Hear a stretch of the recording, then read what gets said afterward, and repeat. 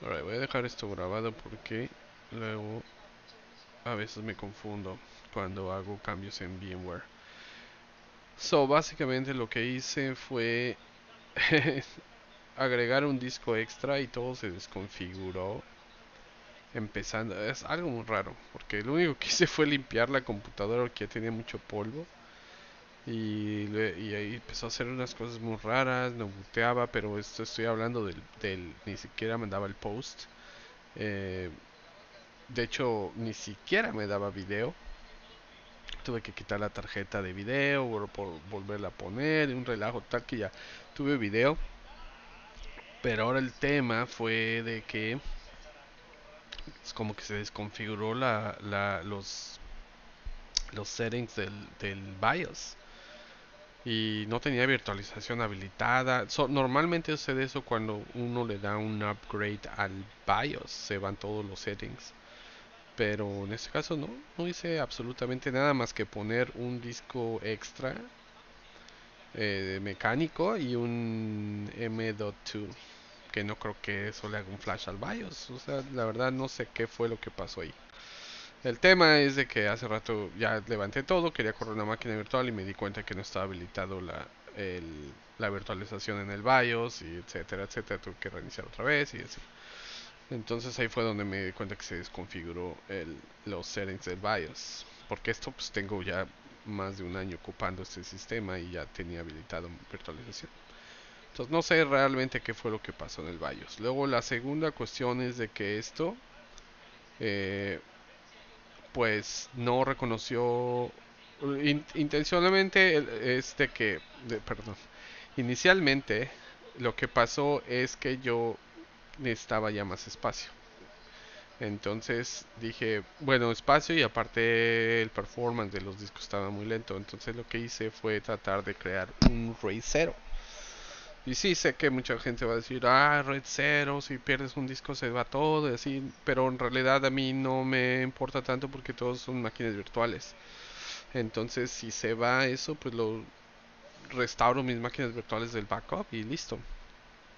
Em, eh, pero en RAID 0 la ventaja que te da es la... Primero que doblas la capacidad. Entonces en RAID 1 pierdes la mitad del disco, ¿no? O sea, si tienes dos discos de 6 terabytes, pues realmente en RAID 1 terminas con 6 terabytes, aunque tengas dos de 6, por la redundancia. Pero en RAID 0 te permite velocidad, incrementa el performance y aparte de todo no pierdes, o sea, son 12 terabytes. Pero sí, si un disco se pierde, este, realmente pierdes toda la información. Entonces, salvo de eso, como les digo, yo tengo en backups, no me importa perder la información porque la puedo restaurar rápido de backups. Entonces necesitaba yo velocidad y necesitaba capacidad. Entonces compré otro disco de 6 terabytes, se lo puse y creé un RAID. Yo estoy ocupando la X570 Automaster eh, y te permite hacer RAIDs por hardware. Entonces tú entras al BIOS y puedes crear RAIDs, entre ellos RAID 0. Pues creé el RAID 0 y todo, pero ESXi no reconoce la tarjeta controladora. Esa es la cuestión. Entonces cuando entras a, a ESXi, a pesar de que creaste el RAID y todo, no lo reconoce. Entonces tienes que bajar y, y utilizar los dos discos. Ya reconoce los dos discos, pero pues eh, no son, eh, no está, o sea, reconoce los dos discos como tal, no, no un solo disco en RAID 0. Entonces después me di cuenta que eh, ESXi, y eso no lo sabía, hace como un tipo de RAID por software. Entonces tú le puedes decir acá en, en storage, le puedes decir aquí, seleccionar, vamos a decir aquí tienen los dos discos, le dices increase capacity. And then um, ya seleccionas el disco que quieres y esto le incrementa la capacidad. El tema aquí es de que pues realmente perdí un terabyte y cachito porque pues deberían de ser 12. No sé si es la forma en que, eh, que ocupa cierto espacio del disco para grabar los metadatos. No sé exactamente, pero eso fue lo que me creo. Entonces dije, bueno, de estar manejando máquinas virtuales en un data store y otras máquinas virtuales en otro data store y otras en... Que aquí también compré un SSD de un, de un tera para este meter eh, cosas en las que quiero que el, que el performance esté más rápido, como por ejemplo video o archivos que quiero que subir vía FTP o descargar vía FTP que lo haga más rápido. por eso creé esto para mi web server. Y estos son para manejar máquinas virtuales en las que no me interesa tanto el performance. Entonces, tener dos datasets, uno para velocidad y otro para tener máquinas virtuales ahí de 12 terabytes me parece perfecto. Entonces, este, pues salvo de eso, pues eso me funcionó. Pero pues no voy a tener buen performance aquí por el tema de, pues de que no tiene, eh, no es una tarjeta controladora. Es un RAID por software. Y pues quién sabe ahí el overhead, no sé realmente cómo funciona, necesitaría probar eso. Pero bueno, el tema era eso, eso era el meollo del video, ¿no? Y entonces, este, perdón, de mi proyecto. Entonces, ah, pues ya tengo eso, pero después me di cuenta como que se desconfiguró todo. Y el tema fue porque el dataset lo llamé distinto. Pero aunque ya lo renombré como tanque, porque se llamaba tank, tanque, o algo así se llamaba inicialmente este pues quise restaurar las máquinas a la locación original y ya algo hice mal aquí que no que pues mis backups no reconocen la locación originales y pues ya no pudo. Entonces ahí al restaurar la, la máquina virtual más importante que es la vSphere pues ahí empezó con bromas porque pues está desconfigurada. Entre la desconfiguración está parte del switch. Entonces el tema es que inicialmente pues ni siquiera daba ping nada. Entonces tuve que meterme a la consola de, del ESXi y me di cuenta que no estaban habilitadas las dos networks. Ahí, en el BSXi te permite habilitarlas. Ya las habilité y ya empezó a dar ping. Entonces ya me pude conectar a la consola del ESXi. Y luego que en el ESXi me di cuenta que el, son diferentes switches, ¿no? Este es un Virtual Switch y este es el Distributed Virtual Switch. Este es realmente donde están todas las VLANs y todo lo que te ofrece extra VMware. Pero este switch tenía dos tarjetas habilitadas aquí como un tipo failover. Aquí abajo. Entonces quité una. Y... Porque una la quiero como para management. Para entrar a las consolas, etcétera. Y la otra la quiero que es únicamente para las máquinas virtuales. Entonces, el tema es que la quité aquí, pero después no la podía asignar aquí en el switch.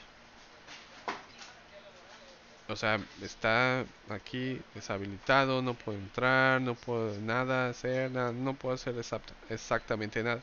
Entonces anduve, dije, no, pues a lo mejor porque están prendidas las máquinas virtuales, las apagué, todo, nada, nada funciona, no puedo habilitar. Y el tema es de, como les digo aquí, estaba habilitada una tarjeta, aquí estaban unas máquinas virtuales y estas inicialmente eran las dos que estaban como en failover, quité una, y nada más apareció una. Pero el tema es las otras, las máquinas virtuales que estaban aquí. Entonces, este, bueno, de hecho quité las máquinas virtuales, las moví a otro, pero el tema es que aquí en el distributed switch no me aparecía ninguna tarjeta y no sabía cómo asignar esa tarjeta. Entonces es el tema de este video para que pues cualquiera que tenga ese problema yo realmente lo separé así, como les digo. Si a lo mejor ustedes quieren tener todo en una sola tarjeta. Pero pues yo quería una tarjeta únicamente para entrar a mi vSender o, o aquí al ESXi. Aquí en esta sola tarjeta, como les digo. Y la otra tarjeta para poder acceder a las máquinas virtuales. Aquí está la DMZ, DMZ2. Aquí hay unas otras máquinas virtuales. Ahorita voy a empezar a restaurar las máquinas virtuales, pero pues realmente estas son las, así es como está distribuido. Entonces así es como me gusta, pero pues cada quien, ¿no?